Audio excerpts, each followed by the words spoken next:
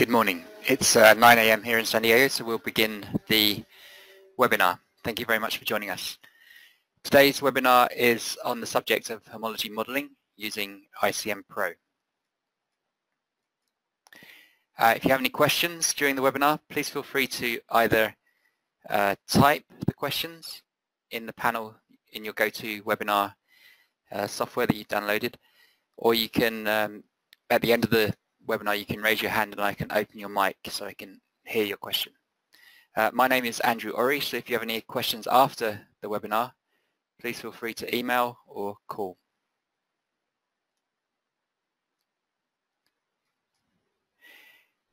If you have not done this already, but um, you can uh, request a copy of ICM Pro, a 30-day license key.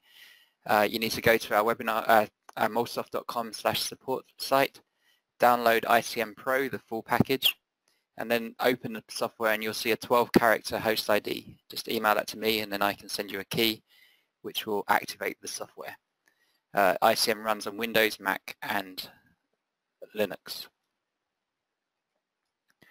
So today's webinar topics include how to read in sequence, your sequence information into ICM for your query, so how to build for the model you want to build, and then how to um, search for an appropriate um, template to build that model. And then uh, you can then, then I'll be showing how to make an alignment between your query sequence and the sequence of the 3D template that you've downloaded from the protein data bank. And then I'll show you how to build the model and then how to analyze the quality of the model that you've built. So homology modeling and other modeling will also be uh, covered in the in the following in the series that we're we're in at the moment in the webinar series. Um, so there are other topics we'll cover such as multi-template modeling and editing a model, how to uh, model loop regions, how to graft a, a model a loop from one protein to another, how to optimize those loop regions. And then we're moving on to how to predict the effect of a mutation uh, on ligand binding, on stability, on protein-protein binding, and uh, peptide binding.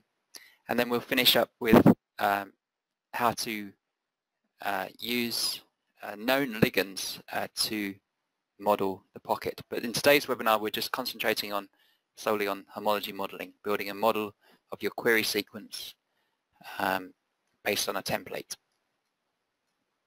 Uh, just a shameless plug. Uh, a few years back, uh, Ruben Abagyan, our company founder, and I, uh, we uh, edited a book on homology modeling, and it covers basically uh, it's lots of great chapters from experts in the field, from alignments to, to force fields, to ligand guiding modeling, for example, and how to analyze your model. So it's, it's useful. I can send PDFs of any of these chapters if you if you email me. All the webinars are saved on YouTube, so you can watch it at a later date if you're interested. So just a, slide quickly about MolSoft. Uh, we're located in uh, San Diego in California. Uh, our company founders Ruben Abagyan and Max Totrov is our principal scientist and Eugene Raush is our principal developer. Uh, you may be wondering what ICM stands for. ICM stands for Internal coordinate mechanics. We use internal coordinates rather than Cartesian coordinates and you can read more about those in, in these papers here. So today's topic, homology modeling. You have a query sequence, which you can see here, and the idea is to take that query sequence and go to the PDB and find a template upon which, which has good sequence identity upon which you can build your model. Once you've found that template, uh, you can copy uh, the align, you can you can thread the your query sequence onto your structure and then uh, predict uh, loop regions, for example, the conformations of the loops, the side chains, and then fully optimize the structure in um, in our force field and uh, using the bias probability Monte Carlo method, uh, which you which was published in 1994 uh, by Ruben and Max Totrov here at MolSoft. And then once you've built your model, you can predict how reliable that model is in certain regions and how and, and flag regions where there may be problems, you know, for example, where there's no homology in the loop regions, for example.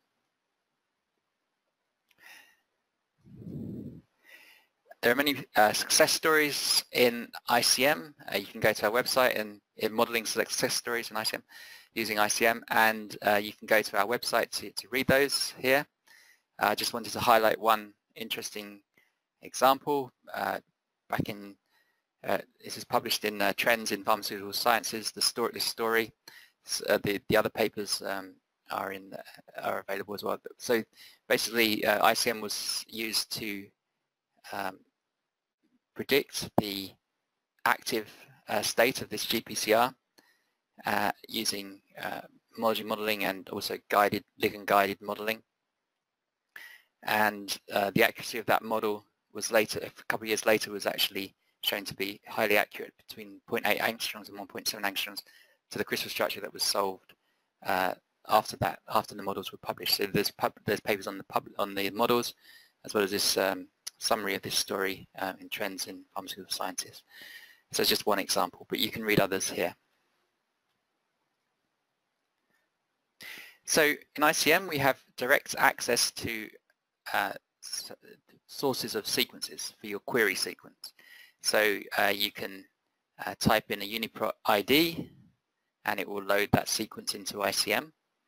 Uh, you can you can search ProSite, which is a a, database of protein domains, families, and functional sites, as well as uh, PFAM, uh, which is a, a curated uh, protein family database. So you can download alignments from, from these uh, uh, databases and sequences from here. So in this, in this webinar, we're going to go through an example. We're going to model uh, GPR 120, which is a member of the rhodopsin family of GPCRs. So it has uh, seven transmembrane helices. Uh, the UniProt code for this uh, protein is FFAR1 uh, 4 underscore human. And GPR120 is an interesting target uh, because it's uh, a potential target for obesity drugs. It mediates the anti-inflammatory and insulin sensitizing effects of um, omega-3 fatty acids and um, a lack of GPR120 equals a reduced fat metabolism. So it's a useful target. It's an interesting target. So how do we load that, that into ICM?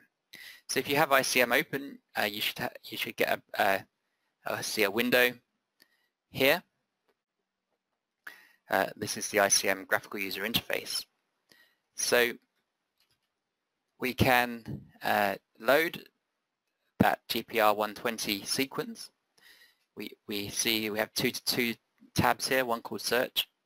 We need to click on that search tab and um, go to UniProt and enter the UniProt code FFAR4 underscore human, like that. And then click on the uh, binoculars button, which is the search, runs the search. Then you'll see a table. Uh, one column has the uh, link directly to the Uniprot site. If you want to click on that link, it will open up the Uniprot website. Uh, another column has the other names, which is quite useful, uh, synonyms for, for, this protein. Uh, sequence as well here. Um, but to load this sequence into ICM, we just double click on this table. If you double click anywhere on a table, it will load the sequence into ICM. And you'll see in the ICM workspace here that you now have another uh, section called sequences and our sequence is loaded here. You can expand this sequence here to uh, to see the full sequence uh, and also it's it's transferred over information um, annotation from the UniProt as well. So you have um, information about where the transmembrane helices are, for example, uh, some other uh, information as well from mutations and other things in, in the um, in the sequence. Any conflicts and variants are, are, listed here. So anything that's in the, in, in the annotation part of UniProt is also transferred. So this is useful when you make an alignment. You can propagate this information onto the alignment as well. Okay. So the next step, we have our query sequence. So our next step is to try and find a template. So we downloaded the query sequence. And inside ICM, there's the option to run a blast search. You can blast search your sequence against uh, Uniprot, whole Uniprot, or more useful, useful in our case, we want to uh, blast the sequence against sequences from the protein data bank to find any proteins that may have uh, similarity, uh, sequence identity to our, query sequence. So the quality of the model is highly dependent on the sequence identity between the query and the template. Uh, general rule of thumb, although this varies, in, is that if you have 50% uh, identity, the model is going to be reasonably reliable. Uh, 30 to 50% error, uh, identity, you're likely to see errors. Uh, errors will be more evident, uh, particularly like in the loop regions and such like that. And below 30%, you get into what they call the twilight zone, where there's going to be uh, multiple errors. So, uh, but you need to be careful as well when you choose your template because you need to make sure the template is in the form that you're interested in. Uh, for example, is it active, active state, inactive state? Is it ligand bound? So all these considerations need to be made. And you may have an overall sequence identity that's in the twilight zone of minus th uh, uh, less than 30%. Uh, but you, but there may be good homology in the region that you're most interested in. You know, for, the, for example, the binding pocket may be uh, better conserved. So having said that, uh, we, we're using an example where um, sequence homology is, sequence identity is very low. Uh, it's, it's, very low in all GPCRs that we're modeling. So we're, we're modeling the GPR 120 in this example. Uh, but the good thing is they all share a common structural core, which is the seven uh, transmembrane helices. So they they have good um, structural identity, but relatively poor sequence identity. Another useful thing for modeling GPCRs in our example is that uh, for each helix there's a, a, motif that's generally conserved in, in family. This is the these are the motifs that are conserved in family A uh, GPCRs. So uh, we can use these motifs to uh, modify the alignment to make sure that, for example, in the helix 3, there's this quite famous DRY motif that is uh, fully usually fully conserved. So you can use these motifs to, to, to guide your, your alignment to the template. So even though in, this, in most GPCRs the identity is very poor, um, reasonable models can be, can be made. So to do a blast search in ICM, we have our sequence already loaded, which we did earlier. Then we need to go back to the search tab and go to uh, NCBI BLAST here in the search tab. We need to enter the name of the sequence we want to blast, and that's FFAR4 underscore human. And then we press uh, the uh, binoculars button here. Okay, so that takes a, a minute or so to run. In anticipation, I have a ready-made. Um, so when you run that, you will see, you'll get a table here of of the hits. So, okay, so it's finished uh, in in in my one. Just, but this is a, a ready-made example. So you have the sequence identity here. You can sort it by sequence identity. You have here the accession, the PDB accession number, uh, three, the, the four um, to 5x, for example, 5x33 here.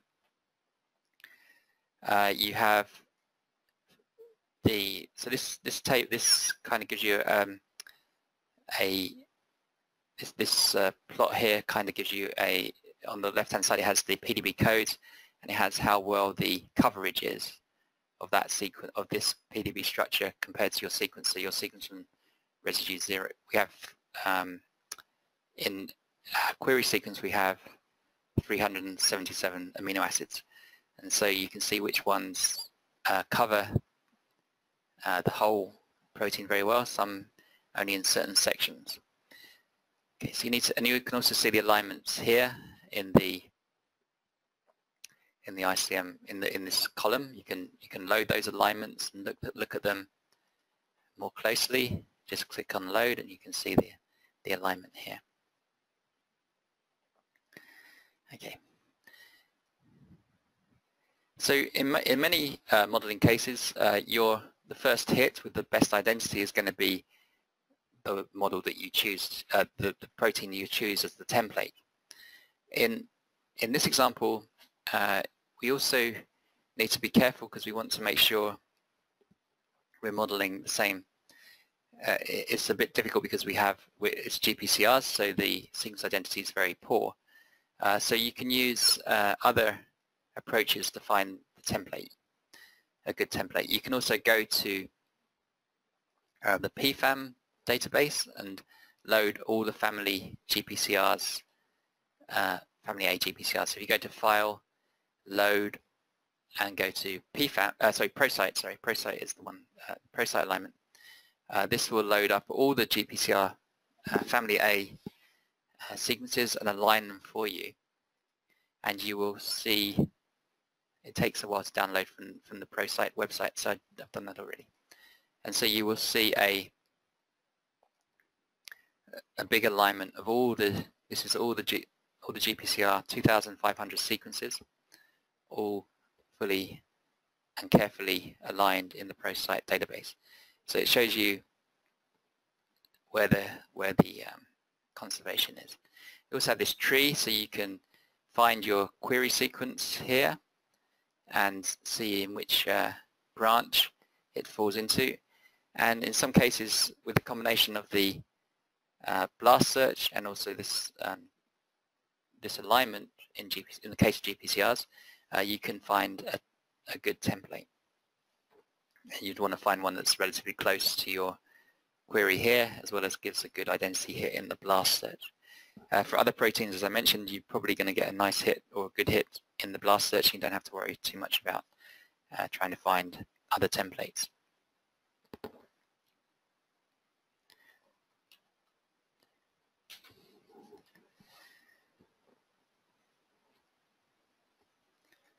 So um, once you've found your template, and, and in this case, um, it takes a while to find. You, you need to, you may want to use multiple templates, and uh, and we, we're looking for a, also looking for a, proce a, a GPCR in the active state in order to uh, design agonists for our GPR 120. So that's another consideration.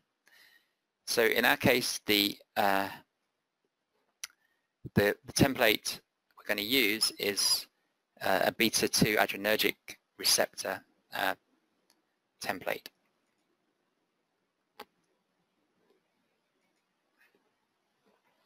So to load that uh, template in, we need to search the PDB for, for that. So you have the you have the accession number here. We just read that accession number in. So we go to to load that structure. We would go to PDB search in the search tab here. I'm just going to show you here, and enter uh, the code. So the code 3P0G is the PDB code.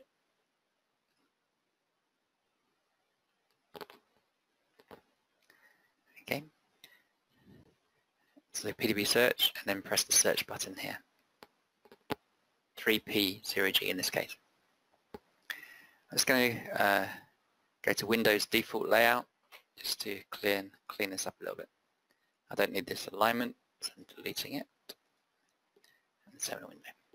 Okay, so when we read in uh, 3P0G, I'm just going to delete these other line, uh, sequences because we don't need those either. Yeah. So at the moment we have our query sequence, FFAR for human, and our, and our protein structure here. So we've read the protein structure in. Uh, we can see that it contains uh, three molecules the the, the GPCR, the uh, transmembrane region in blue, an agonist bound to this beta-2 adrenergic receptor, and also a um, it's like a, a nanobody uh, which is used to stabilize the protein uh, for crystallization, this B chain here. So it's kind of irrelevant for us. We don't interested in that. Okay. So in order to build the model, we need to extract the sequence of our template and align it with the query sequence to, to make the alignment in order to, to build the homology model. So in the and when you read in a PDB, you can take any PDB sequence from from any chain that is an amino acid chain. You can just right-click on the amino acid chain, chain A, and choose uh, the option extract sequence here. So you right-click, choose extract sequence, just go OK. So now in the section of the uh, sequences we have uh, our query sequence FFAR4 underscore human and we have our template 3P0G underscore A sequence. So to align these two sequences to make the, the model, we double click on one, double click on the other. If you want to make a multiple sequence alignment, if you had other sequences, uh, you just hold control and, and select them. Then we right click and choose the option align sequences. Right click, align sequences. And now you can see that we have our alignment on, on the bottom of the screen. So just want to just talk quickly about the different alignment methods. So inside uh, ICM there's um, a variety of different methods for making the alignment. And we also have uh, different comparison matrices and there's also tools for uh, structure prediction, secondary structure prediction, which is kind of outside of this uh, webinar at the moment. So you can you can toggle between different alignment methods if needed. Uh, when you have your alignment, you can see it in the bottom here. So the alignment is fully interactive with the structure. So uh, you can, for example, select a region here, and that selection, hopefully you can see, is propagated to uh, the sequence. So you can see a selection here. Likewise, you can make a selection in the alignment here, and that's propagated to the structure. There's a whole webinar on how to use these uh, sequence alignments um, on our YouTube channel, but I was going to show you some basic stuff that is useful for homology modeling. So uh, one thing we could do is to color the structure by the alignment. So um, you can change the coloring of the alignment by clicking on this hammer button and that displays, uh, you can show, for example, full conservation, um, which might be useful in this case. Uh, secondary structure, uh, you can by just by conservation or um, there's a variety of other different, you can use your own coloring schemes. Um, but in this case, I'm just going to use consensus strength. So residues that are semi-conserved, you know, similar, uh, fully conserved are in green, uh, semi-conserved are in, in yellow. So we can color the, the ribbon by, color ribbon by, go to display tab, the structure, the, the template structure we're modeling onto is, is shown in ribbon, so we can color by and then choose alignment. And then you can see the, the coloring is propagated. So you can see where your structure is um, is fully conserved, uh, where, where the green is fully conserved and, and yellowish is semi-conserved. You can also do the same for the uh, side chains, for example, around the ligand. And I think in this case, the, um, side chains are pretty, uh, they're not very well conserved. Uh, but we have structural similarity but not sequence similarity. So you can do the same color, you can color anything by the alignment uh. So you can see we only really have this one uh, tryptophan that is fully conserved in the binding pocket. That's uh, the that's because we're, we're modeling uh, GPCRs. So if you want to, so when you're modeling a GPCR, for example, or any other protein for that matter, we need to be really careful with the alignment, and we need to double check uh, where the uh, where we're putting gaps and where we're um, where we have um, insertions or deletions between the template and the query sequence. So one useful thing uh, it shows you um, you can show the secondary structure for, a, for, from the PDB. So these helices, this is the these red represent um, alpha helix. These are non-canonical helices. So you can see in helix one, for example, we have uh, very reasonable conservation, and I think this is the, the motif for helix one. I need to double check. So it's pretty well conserved. Um, you can see in other parts of the uh, protein we have uh, conserved uh, disulfide bond, which is good. This is the, um, the, the disulfide bond. If you click on it, it should take us to that region. This is the disulfide bond in the extracellular region. And those cysteines here and here are fully conserved. This is between in extracellular loop uh, 2. So uh, if you want to edit the alignment, and in this case uh, you, you do need to do that because we have some gaps and everything, uh, but just for, for speed I'm not going to edit the whole thing, but you can edit an alignment by selecting a region. Just going to show you, so you, you click and drag over a region you want to edit, and then you can use the cursor keys to shift that region. So you can move it, move gaps uh, in and out, and just by selecting, closing the gap. So in this case, we need to be careful we don't have any insertions inside the helix, and we need to go back to that slide and look at the the motifs that are fully conserved and make and double check each helix to make sure that those uh, motifs are, are, fully conserved between our query and our template uh, sequence. So in the alignment you can also uh, show uh, the profile which is sometimes useful especially when you're looking for a motif. So it's pretty more useful actually in a fully in a very large multi uh, sequence alignment but um, in this case it's, it's fine. Okay.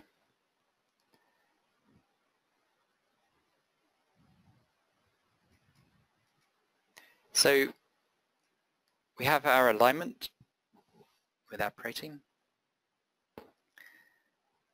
Um, I just want to also show you, for example, um, if you wanted to select the neighbors around the ligand, you select right click, choose neighbors, um, just go OK, and that selects the residues around the pocket.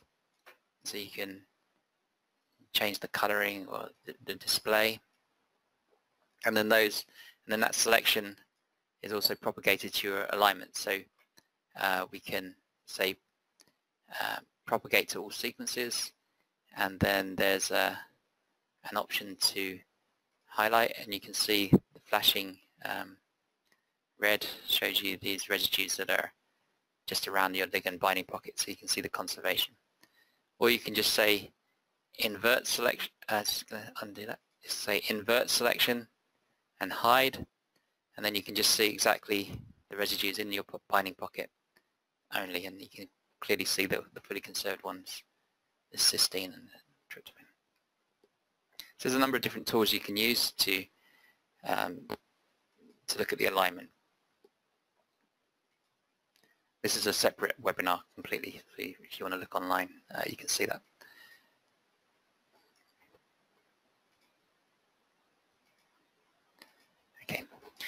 So we're basically now ready to, to make the, the homology model.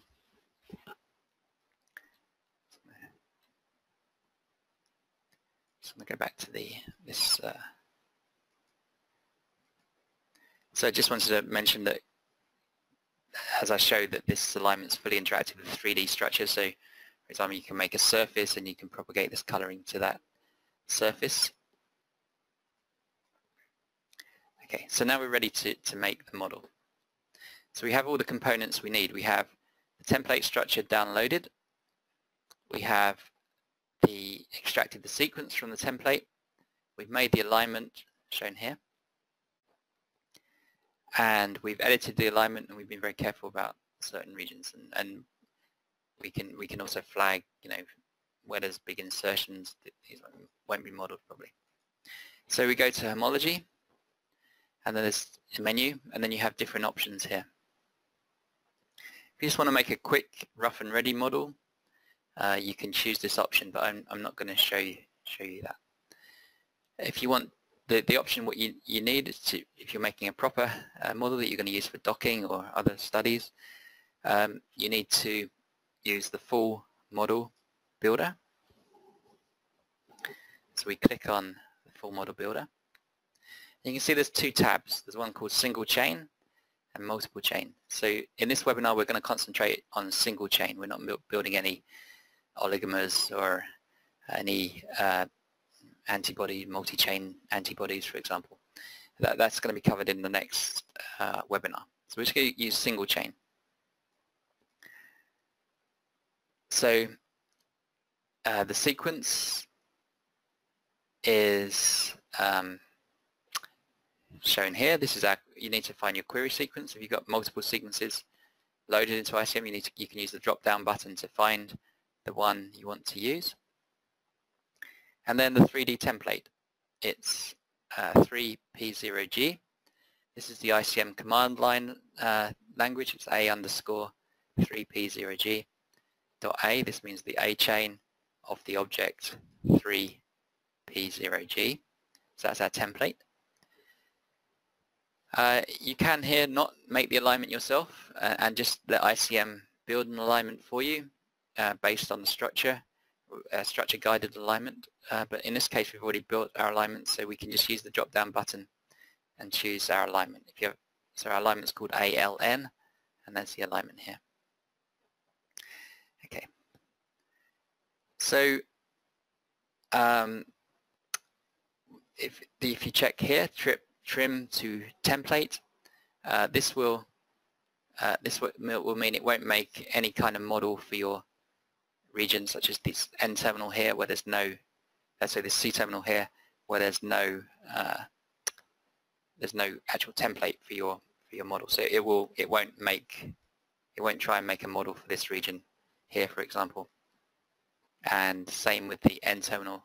Because there's no template it will not it will not uh, use that. You can check trim to template if you want to which is probably a good idea.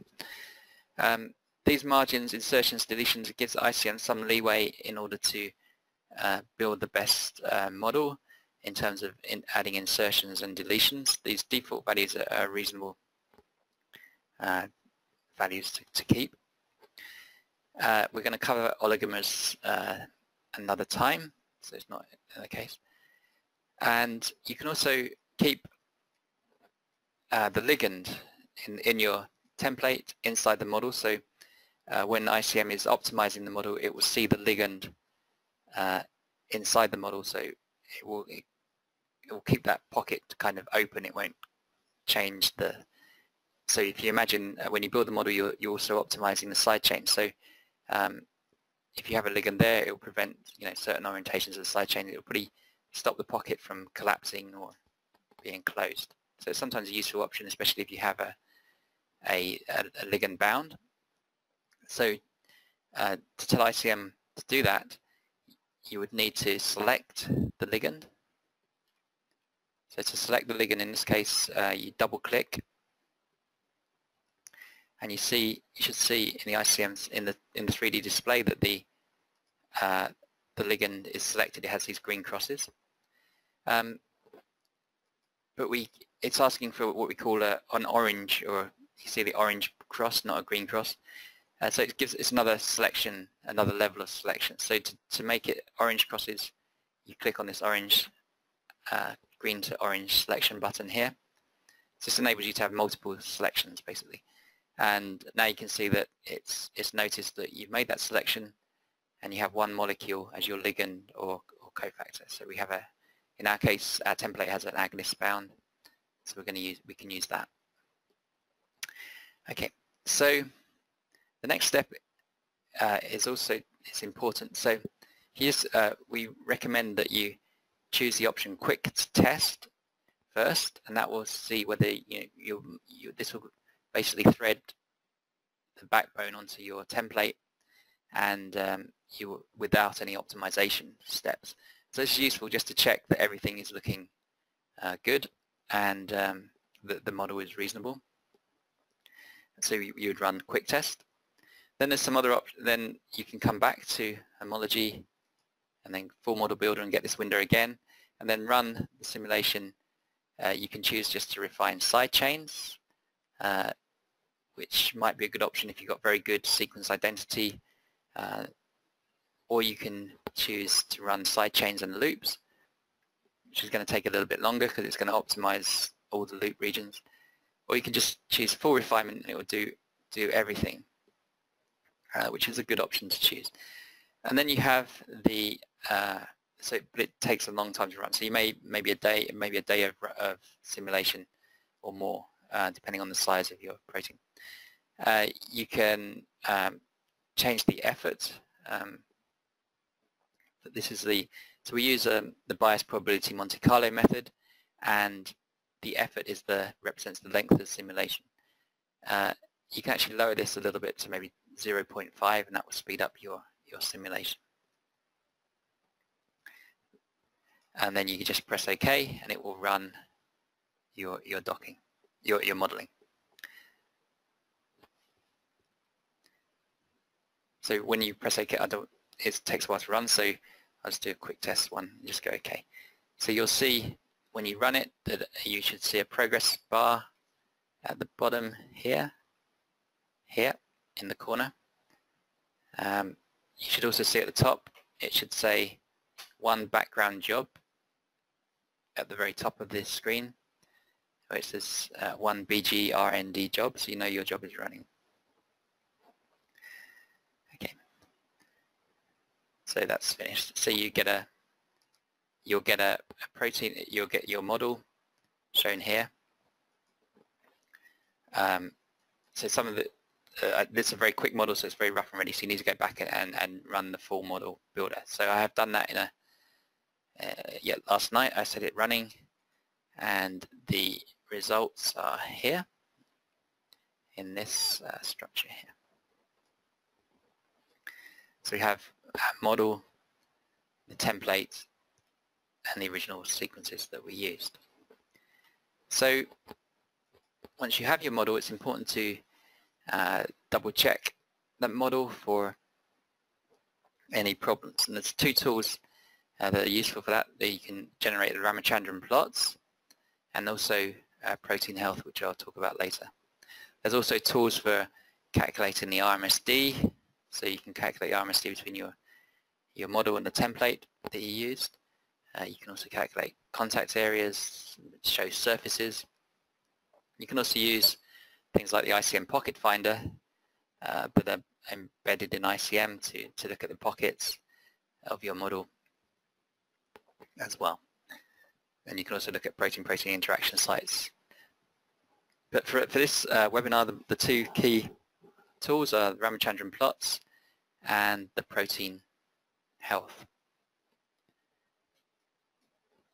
So the protein health basically will flag uh, regions of your protein where the energy of your of your side chains or the backbone are very poor.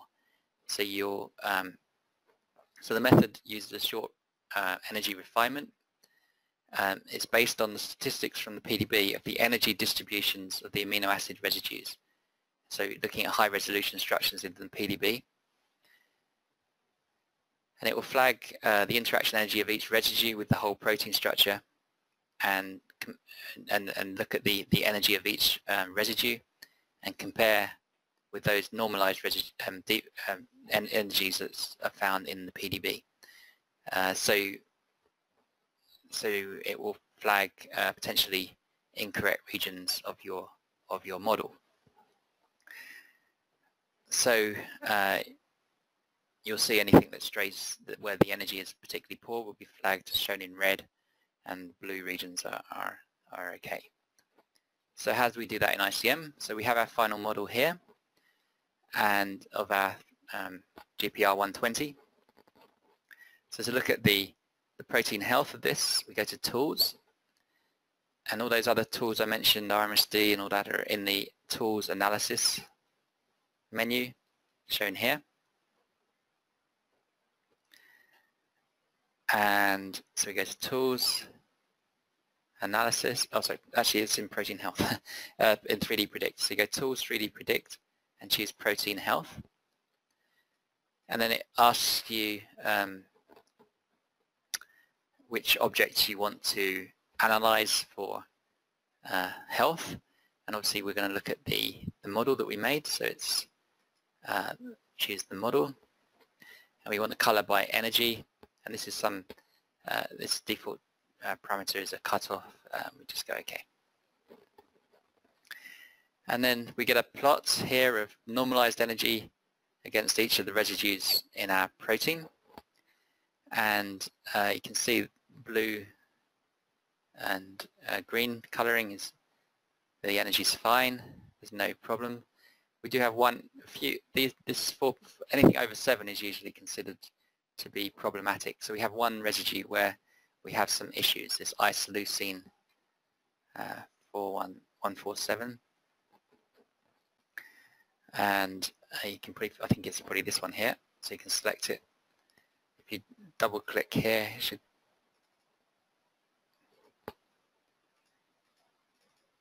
it should take you to that residue but we can see it quite clearly it's this red region here there may be a clash or some other poor geometry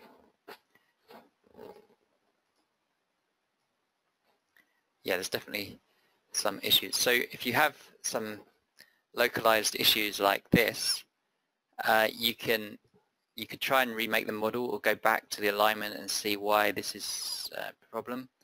Uh, but some issues can be uh, fixed uh, manually by just selecting the residues that are poor. And then you can just right click and choose to, um, advanced and optimize side chain. So this will do another optimization. And you can see the, hope you can see the uh, residues uh, sampling uh, the energy uh, using the bias probability Monte Carlo method. And you, you can see they're, they're interacting each other, like dancing with each other, uh, trying to fix that region. So you can try and fix it uh, manually here. If, if there are particularly egregious problems, you may need to remake the model completely. Um, some things might not be fixed by the way you have your, your alignment. So I'm not sure if this is, if we go 3D predict protein health, um, go OK, uh, we can check whether some of this, actually we didn't include this one, but the, the, this just showed um, the way you do it. So you right click, you select the residues you want to optimize, um, right click on them, advanced, and then optimize side chains. Okay, another way to look at um, analyze the quality of your model would, be to look at the uh, Ramachandran plot. So to do that, you go to Tools, Analysis, and then we have uh, Ramachandran plot interactive. Uh, you can click on there. It's asking you for which um, selection. Go OK. And then you have your Ramachandran plot. You can select, click on here, and it will take you directly to that residue of interest. If there's any outliers, you can you can look at them shown here. So it's got the psi-phi angles plotted by default. There are other plots here, um, the omega angles as well. So you can use this to, to analyze the quality of your model.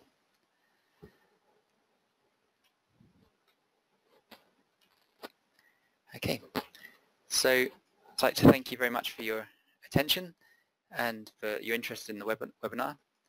Uh, so we're going to move on next coming weeks on some more advanced topics. So we we built that model, uh, but there may be uh, regions that we need to be very careful with. For example, the loops. So I can sh we'll show you how to to model uh, loop regions.